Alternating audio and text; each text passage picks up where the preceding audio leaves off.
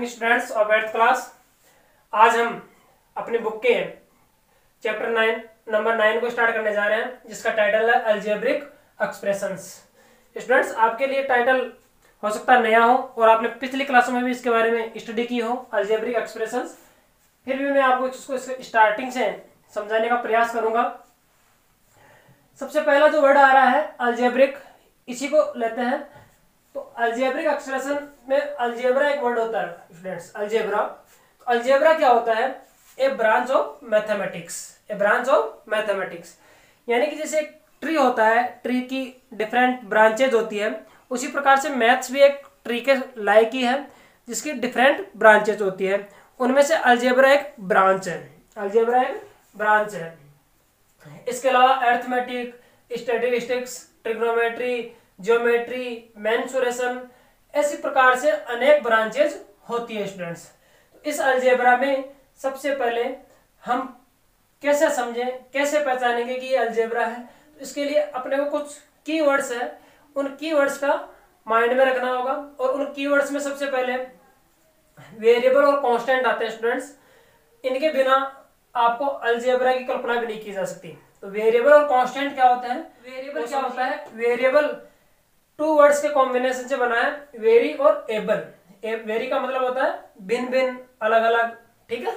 और एबल का मतलब सकना या समर्थ. अर्थात तो भिन्न भिन्न लेने में समर्थ हो.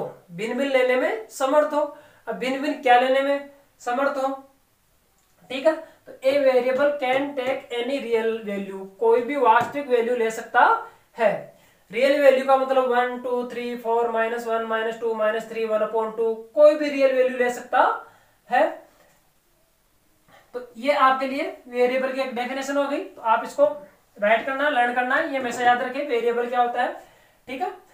Variable are denoted by X Y Z P Q R T M N इन प्रकार के जो इंग्लिश अल्फ़ाबेट के लेटर्स होते हैं, उनके द्वारा डिनोट किए जाते हैं। नॉर्मली ये स्मॉलर ही यूज़ होते हैं। स्मॉल लेटर्स में।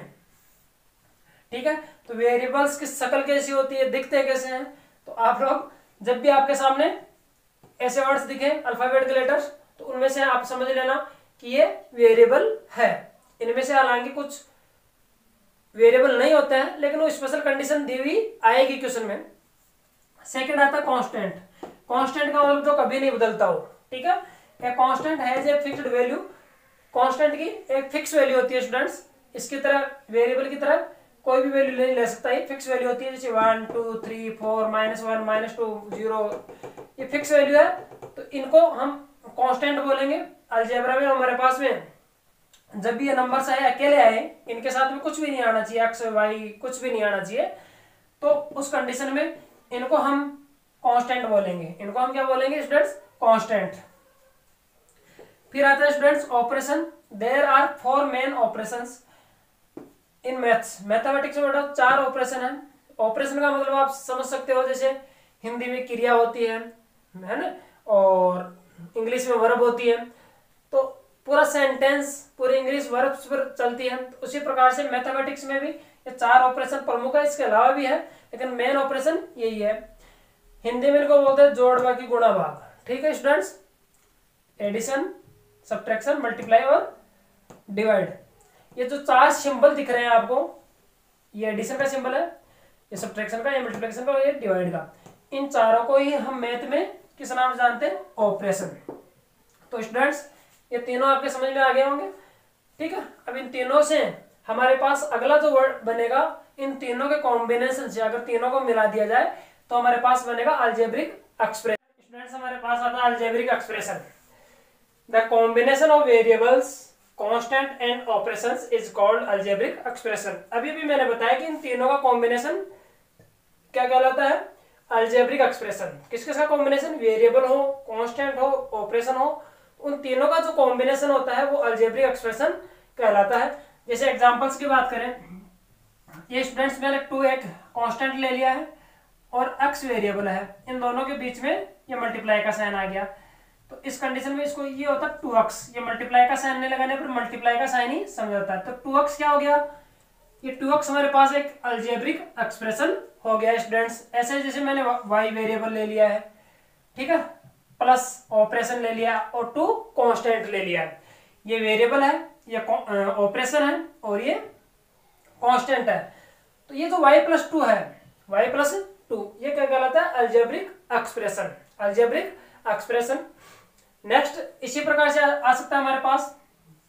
एक्स स्क्वायर माइनस फोर आ गया। ये भी अल्जेब्रिक एक्सप्रेशन है, इसमें वाई हमारे पास वेरिएबल है और फोर कांस्टेंट है। तो ये एक्स स्क्वायर माइनस फोर क्या हो गया? अल्जेब्रिक एक्सप्रेशन हो गया है। इसी प्रकार से हमारे पास थ्री एक्स वाई आ सकता है। यहाँ एक्स और वाई मल्टीप्लाई प्रोडक्ट के रूप में है और थ्री कांस्टेंट है।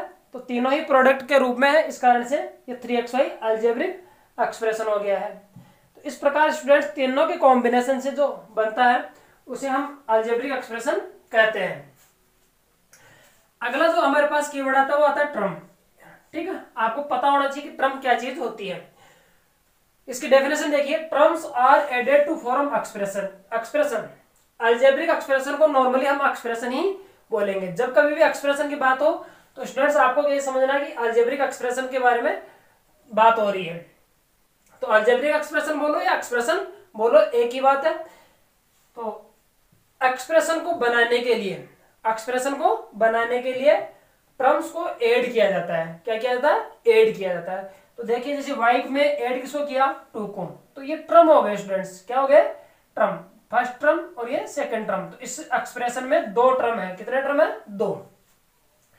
इस एक्सप्रेशन में देखिए, हम कोई भी चीज़ नहीं जोड़ रहे। एडिशन का साइन है ही नहीं, ना तो पॉजिटिव वैल्यू जोड़ रहे हैं, ना नेगेटिव वैल्यू जोड़ रहे हैं। तो उस कंडीशन में ये अकेला ही एक ही टर्म है, इसमें दो टर्म नहीं है। कहीं आप दो और अक्स को अलग अलग टर्म समझ लो, नहीं टू अक्स एक ही टर्म है।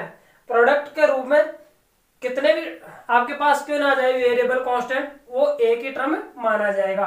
हाँ प्लस का ऑपरेशन आ जाए, तब वो डिफरेंट माना जाएगा। इसी प्रकार से देखिए, हमारे पास यहाँ देखिए, ये वेरिएबल है, और यहाँ पर माइनस फोर माइनस फोर को इसमें ऐड किया है तो प्लस माइनस ये इस प्रकार से था स्टूडेंट्स ये ऐसे है। प्लस माइनस माइनस होकर के ये एक्स स्क्वायर माइनस फोर आ गया है। तो ये भी दो टर्म है, ये अलग अलग है। तो एडिशन का साइन आए और सब्ट्रैक्शन का साइन है तब आपको अलग अलग टर्म काउंट करने हैं अदरवाइज़ एक ही टर्म होगा। जैसा कि इसमें देखिए थ्री एक्स वाई में। इसमें न तो एडिशन का साइन है, न ही सब्ट्रैक्शन का साइन है। इसमें हमारे पास मल्टीप्लाई का साइन है, ये three into X multiply Y ये इस प्रकार से है तो ये सिंगल टर्म ही है। तो टर्म समझ गए होंगे? पद, हिंदी में पद बोलते हैं। ये इसमें दो पद है, ये अकेला पद है, इसमें दो पद है, ये अकेला पद है, ठीक है? और हमारे पास ये आ जाए X plus Y minus three इसमें बेटा तीन पद हो गए, ये थ्री टर्म कहलाते हैं। ओके स्टूडेंट्स तो आप समझ गए होंगे? टर्म्स क्या होते हैं? तो एडेड जो एड किया जाता है, चाहे वो प्लस का हो, चाहे माइनस का हो तो एड किया जाता है, उसको हम टर्म बोलते हैं। नेक्स्ट आता है फैक्टर्स फैक्टर क्या चीज़ होती है? Terms themselves can be formed as as product of factors यानी जो ट्रम होते हैं ट्रम किससे बनते हैं? ट्रम बनते हैं प्रोडक्ट ऑफ़ फैक्टर्स से। आपके पास दो चीज़ ले लीजिए। एक वेरिएबल ले लो और एक कांस्टेंट ले लो। ठीक है स्टूडेंट्स ये एक्स और ये टू और इन दोनों का अगर प्रोडक्ट कर दें तो उस कंडीशन में हमारे पास बन जाता है टू एक्स एक्स टू नहीं आने का। पहले न्यूमेरिकल वैल्यू लिखी जाती है, फिर वेरिएबल तो टू एक्स हमारे पास क्या हो गया? ये ट्रम हो गया है। क्या क्या हो गया? ट्रम तो ये ट्रम किससे बना है? एक्स और टू से। तो ये कहलाते फैक्टर क्या कहलाते हैं? एक्स और two X and two are the factors of two X इसी प्रकार से आगे देखते हैं। वाई वेरिएबल ले लिया मैंने। इसको मल्टीप्लाई कर दिया वन अपॉन टू से। तो स्टूडेंट्स वाई के अपॉन में वन है। इस प्रकार से हमारे पास आता वाई अपॉन टू तो ये भी एक टर्म है। तो ये टर्म किससे मिलकर के बना है? वन अपॉन टू और वाई से। इन दोनों के प्रोडक्ट के रूप में ये बना है। इसी प्रकार से एक्स अपॉन फोर है। एक्स स्क्वायर अपॉन थ्री है। फोर एक्स स्क्वायर वाई है। इसमें हमारे पास, ये देखिए, four into X square into Y ये तो वेरिएबल है इन वेरिएबल के अलावा ये कांस्टेंट है। तो ये प्रोडक्ट के रूप में है। तो ये तीनों फैक्टर कहलाते हैं। फोर एक्स इंटू वाई ये फैक्टर कहलाते हैं। तो ये फैक्टर समझ गए होंगे आप? फैक्टर का मतलब होता है गुणनखंड।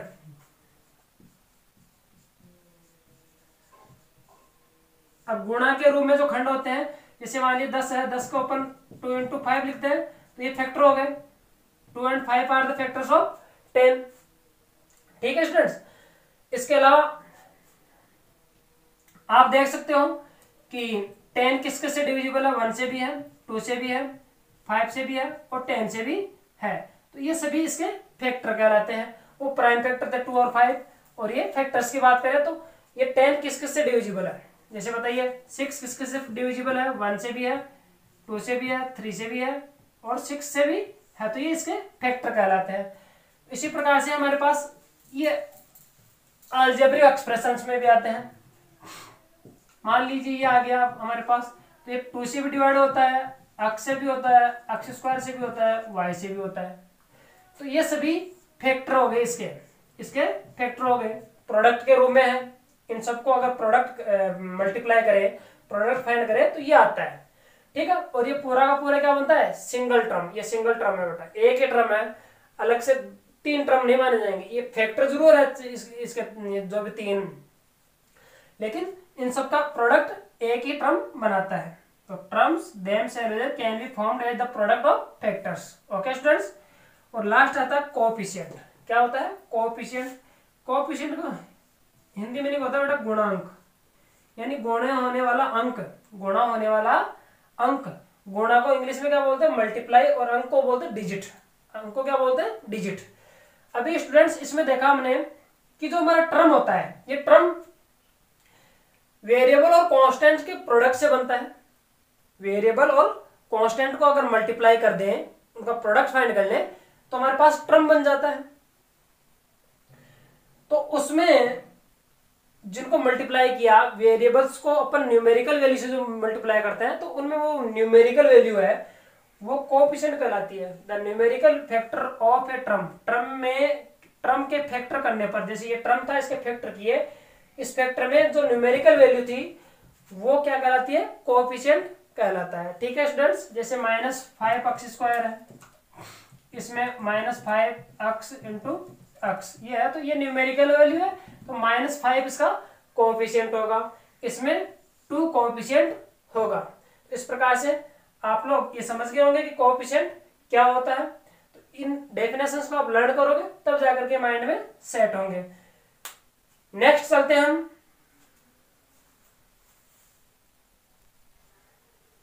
नेक्स्ट हम स्टडी करते हैं टाइप्स ऑफ़ अल्जेब्रिक एक्सप्रेशंस कि जो अल्जेब्रिक एक्सप्रेशन होते हैं, उनके कितने टाइप के होते हैं?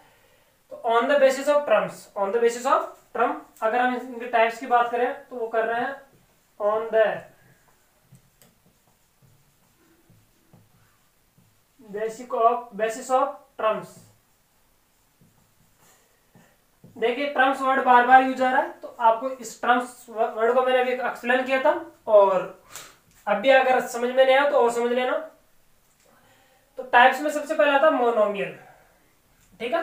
Expression having one term is called a monomial monomial अर्थात ऐसा एक्सप्रेशन एक्सप्रेशन मैंने बताया था, तीनों का कॉम्बिनेशन जिसमें एक ही टर्म हो एक ही टर्म हो। जब भी एक टर्म की बात होती है तो प्लस और माइनस का साइन तो आने का सवाल ही नहीं है, और उसके बाद भी कोई नंबर नहीं आएगा।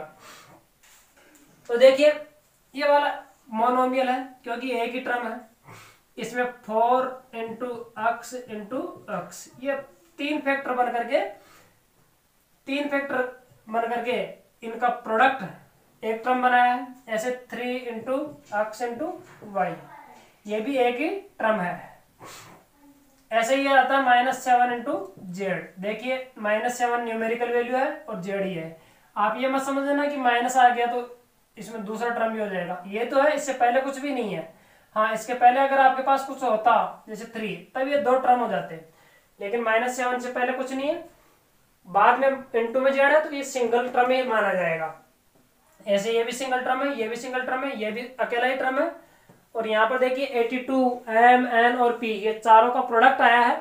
तो इस कारण से ये भी सिंगल टर्म ही है। मल्टीप्लाई में चाहे हज़ार क्यों ना जाए फैक्टर तो वो सिंग, सिंगल टर्म ही माना जाएगा।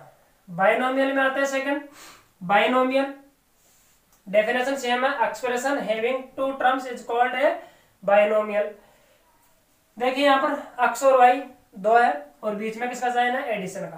तो टर्म्स ऐड किए जाते हैं क्या बनाने के लिए? एक्सप्रेशन बनाए तो यहाँ पर दो टर्म एक्स और वाई को ऐड कर दिया। यहाँ पर देखिए, अगर फोर एल की बात करें तो फोर एल सिंगल टर्म है, इसकी तरह। और फाइव एम भी सिंगल टर्म है, दोनों को एडिशन करके ये हमने बाइनोमियल बना दिया है। ऐसे ही ए सिंगल टर्म है फोर अनदर सिंगल टर्म है, दोनों को प्लस साइन माइनस यूज़ करने से ये हमारे पास बाइनोमियल बन गया है। ये दो टर्म हो गए। यहाँ देखिए फाइव की बात करें तो ये अकेला सिंगल टर्म माना जाएगा और माइनस थ्री एक्स वाई दूसरा सिंगल टर्म है, दोनों के बीच में माइनस का साइन आ गया। तो इस कारण से ये दो टर्म हो गए। तो प्लस का साइन आया या माइनस का साइन आया? तो उस कंडीशन में उनको डबल काउंट करना है। ऐसे यहाँ पर भी ये डबल टर्म्स हैं, इसलिए इसको बाइनोमियल बोलेंगे। स्टूडेंट्स नेक्स्ट टाइप आता है ट्राइनोमियल नाम से पता चल रहा है, इसमें तीन टर्म होंगे। कितने टर्म होंगे? तीन। इसमें दो, इसमें एक। Expression having three terms is called a trinomial देखिए x plus y plus z देखिए वन टू थ्री तीन टर्म है। एक, दो, तीन इसमें है। वन टू थ्री थ्री इसमें है। आ गया था पोलिनोमियल एक्सप्रेशन हैविंग वन और more terms is called a polynomial जो स्टूडेंट्स इन सबको भी हम पोलिनोमियल बोल सकते हैं। आगे की कक्षाओं में हम इसको एक्सप्रेशन ना बोल करके पोलिनोमियल भी बोल, बोलेंगे। तो ये सभी पोलिनोमियल होते हैं, जिनमें एक या एक से अधिक पोलिनोमियल हो। ठीक है स्टूडेंट्स जैसे अपन स्कूल में पढ़ते हैं तो जब स्कूल के गेट गेट से एंट्री लेते हैं तो हम सभी स्टूडेंट्स होते हैं। आप सभी स्टूडेंट होते हो, लेकिन जब अलग अलग पर्टिकुलर कक्षाओं में बैठ जाते हो, आप क्लासेज में तब आप एट्थ क्लास के स्टूडेंट, नाइन्थ क्लास के स्टूडेंट अलग अलग बैठ जाते हो। उसी प्रकार से ये सभी पोलिनोमियल है, लेकिन सिंगल टर्म वाला मोनोमियल डबल टर्म वाला बायनोमियल तीन टर्म वाला ट्राइनोमियल होता है। ठीक है स्टूडेंट्स और इससे अधिक आए तीन टर्म से अधिक तो उसको हम पोलिनोमियल ही बोलेंगे स्टूडेंट्स तीन या तीन से अधिक वाले को क्या बोलेंगे? पोलिनोमियल तीन से कम वाले को बोल सकते हैं। एक वाले को पोलिनोमियल बोल सकते हैं, दो वाले को बोल सकते हैं, तीन वाले को। एक वाले को एक टर्म वाले को मोनोमियल बोल दो, चाहे पोलिनोमियल बोल दो। दो टर्म वाले को बाइनोमियल बोल दो, चाहे पोलिनोमियल बोल दो। लेकिन दो टर्म वाले को मोनोमियल नहीं बोल सकते। हैं तीन टर्म वाले को बाइनोमियल नहीं बोल सकते। तीन टर्म वाले को पोलिनोमियल बोल सकते हैं। इस पोलिनोमियल को हम ये नहीं बोल सकते। इनको पोलिनोमियल बोल सकते हैं। ठीक है स्टूडेंट्स ये हमारे पास टाइप्स ऑफ़ क्या हो गए? अल्जेब्रिक एक्सप्रेशन ठीक है स्टूडेंट्स तो ये हमारे पास आता है। अब हम नेक्स्ट हमारे पास आते हैं लाइक और unlike term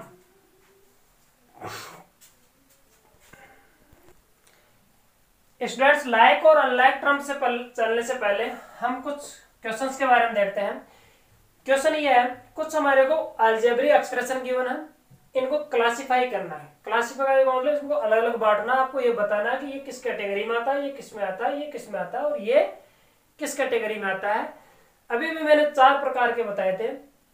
monomial, binomial, trinomial और पोनोमियल। तो इनमें से बताइए, ये पहला हमारा अल्जेब्रिक एक्सप्रेशन है तो ये किसमें आएगा? बताइए इसमें कितने ट्रम है?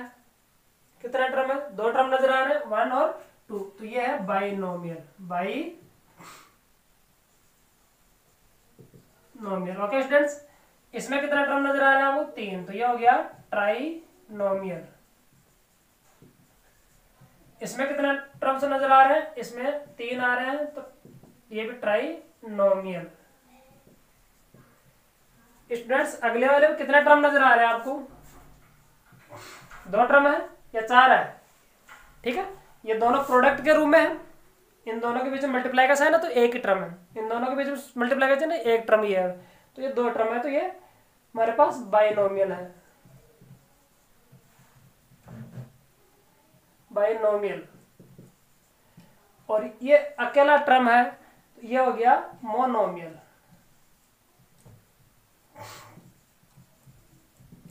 तो फ़र्स्ट टाइप का क्वेश्चन आपके इसी प्रकार से आता है।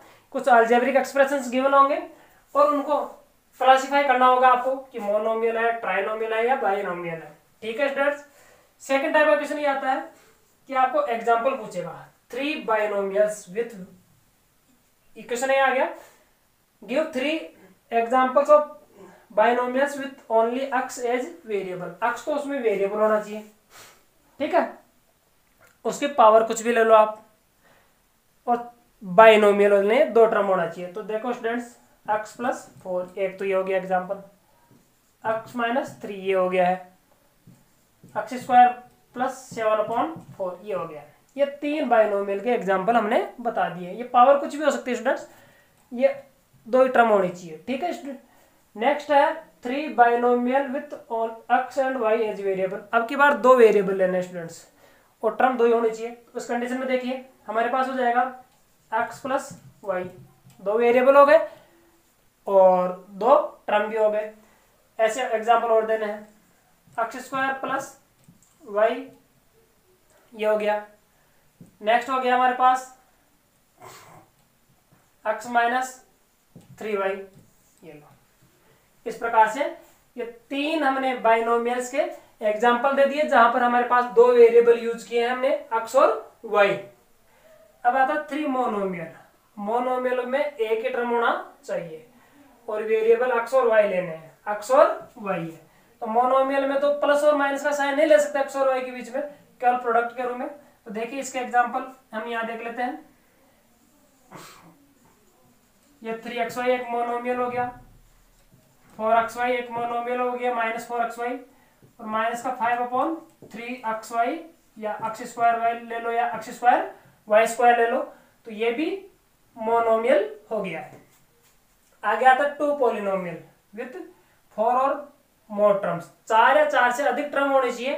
वेरिएबल आप कोई भी ले लो, एक वेरिएबल ले लो, दो ले लो, तीन ले लो, चार ले लो, लेकिन टर्म चार होने चाहिए। उस कंडीशन में हमारे पास में कौन से एग्ज़ाम्पल बनते हैं? देखते हैं। स्टूडेंट्स कुछ भी लिख दीजिए। Seven x square minus four x plus three ये हमारे पास में तीन ही टर्म हुए। प्लस वाई और कर दो। ये चार हो गए टर्म ठीक है? इसी प्रकार से एक और लेते हैं हम। Seven x cube minus eight x square अब एक्स क्यूब वाला टर्म एक हो गया तो दोबारा एक्स क्यूब वाला मत लेना। अभी लाइक टर्म हो जाएँगे, वो एक ही काउंट किए जाएँगे अलग अलग नहीं। ये पावर अलग अलग होनी चाहिए। या फिर वाई ले लीजिए आप minus seven twenty one z square plus four p minus five ये देखिए, पाँच टर्म वाला पोलिनोमियल हो गया है। तो इस प्रकार से एग्जांपल आप कोई भी दे सकते हो। तो ये हमारे पास क्वेश्चन थे। नेक्स्ट आते हैं like and unlike terms students next हमारा टॉपिक आता है लाइक ट्रम और अनलाइक ट्रम इनमें बोलते हैं समान पद। लाइक का मतलब समान। और इसका मतलब होता है असमान। लाइक ट्रम पहचानने के लिए आपको ये पाँच चीज़ें ध्यान में रखनी होगी। आपको पता है एक जो ट्रम होता है, ट्रम होता है, वो फैक्टर्स के प्रोडक्ट से मिलकर के बना होता है और उनमें आपके पास वेरिएबल भी हो सकता है, उस वेरिएबल की पावर भी हो सकती है। हो सकता है कोई कॉपिशियंट हो और उस कोफिशियंट का साइन या तो प्लस का होगा या माइनस का होगा। तो लाइक ट्रम वही होते हैं जिनमें वेरिएबल और उसकी पावर मस्ट बी सेम समान होनी चाहिए। ठीक है ना? अगर वेरिएबल सेम नहीं है तो वो अनलाइक टर्म होंगे। पावर सेम नहीं है तो अनलाइक होंगे। वेरिएबल और पावर दोनों सेम है तो लाइक टर्म होंगे। ठीक है? कोपिशियंट और साइन हो सकता है उन टर्म्स के अलग अलग भी आ जाए और सेम भी आ जाए। ये कोई कंपलसरी नहीं है कि ये नॉट कंपलसरी कि ये ये सेम ही हो। ये हो सकता है मे बी सेम और मे नॉट बी सेम ठीक है? ये सेम हो भी सकते हैं और सेम नहीं भी हो सकते हैं। कंपलसरी नहीं है। तो जो इन नियम्स का फॉलो करता है, वो लाइक टर्म होता है और बाकी सब अनलाइक होता है। देखिए एग्जांपल्स दे रखे हैं। यहाँ पर हमारे पास one two three four five six seven eight nine term दे रखे हैं।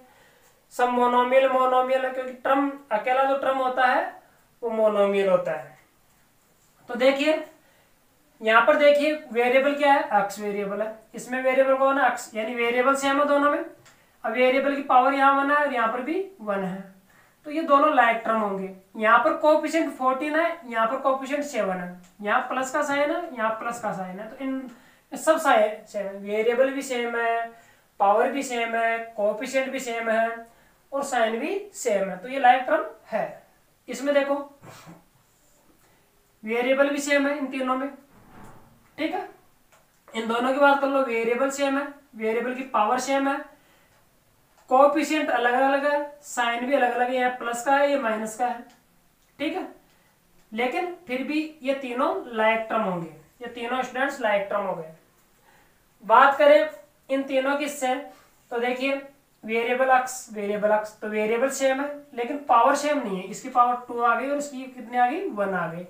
तो ये दोनों अनलाइक टर्म हो गए, ये दोनों भी अनलाइक टर्म हो गए, ये दोनों भी अनलाइक टर्म हो गए, ठीक है स्टूडेंट्स आगे हमारे को देखना है ये पावर सेम नहीं होती कोएफिशिएंट सेम हो या ना हो साइन सेम हो या नहीं हो, उससे हमारे कोई लेन देना नहीं है। स्टूडेंट्स ये और ये लाइक टर्म है नहीं है? देखो सेवन सेवन तो कोएफिशिएंट का कोई लेना देना नहीं होता कोएफिशिएंट सेम हो या नहीं हो। आपको वेरिएबल देखना और वेरिएबल की पावर देखनी है। अक्स यहाँ वेरिएबल है, यहाँ वाई वेरिएबल है तो वेरिएबल इक्वल नहीं है।